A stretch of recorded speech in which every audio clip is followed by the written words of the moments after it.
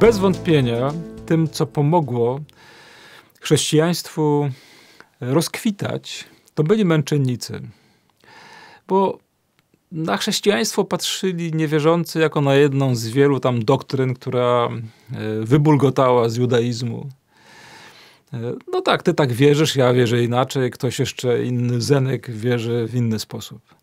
Ale kiedy spotykasz męczennika, człowieka, który ma w sobie wielką trzeźwość, e, a zarazem żar miłości, i bardzo świadomie, ze spokojem podejmuje decyzję takiej radykalnej wierności prawdzie, za którą poszedł, to rozumie, że ta prawda to nie jest tylko doktryna.